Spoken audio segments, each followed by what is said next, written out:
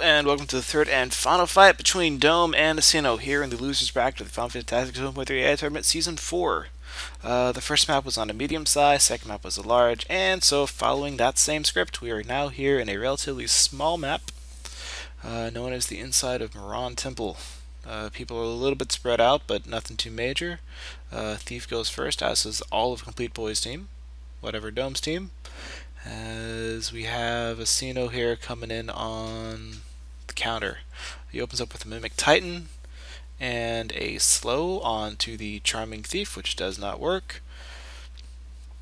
As the Fire Breath once again one-shots the poor skeleton. Uh, Kotetsu happens here, damaging three people for crap damage, as we have some melee onto the Sacred and some water happening onto the Flame. Uh, weird note with the Bone Snatch. It does water damage, which is a weakness of both the Explosive and the Sacred. Uh, anyways, Makai the Thief is down as the tail swing happens after a raise, and so Bone Snatch is dead outright. Uh, Charm attempted onto the Sacred, which does not work, as Complete Boy goes for some more melee onto the Sacred, but he has like a almost 600 HP health pool. Um, he's still alive and kicking, as he does Shake Off, which gets guarded and then he catches a wall spell cast onto him. Uh, fire breath happening onto the explosive. They're healing each other up. Makai going for a bag whack. He is now critical. Uh, even if this wall hits, Complete Boy can still kill him, which he does do. So 84 damage, he is down. Uh, more spark happening here, healing everyone except, uh, yeah, just healing healing everyone. Don't even think the uh, knight got hurt.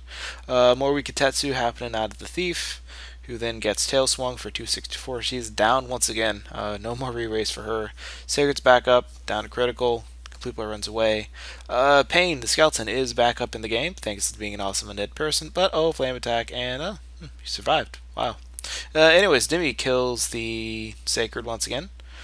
Uh, his AT has already passed, so good speed manipulation, if not intentional, uh, as we have a Thunder Soul and Critical Quick onto Explosive, who once again heals himself, uh, healing himself lightly and hurting the uh, Knight.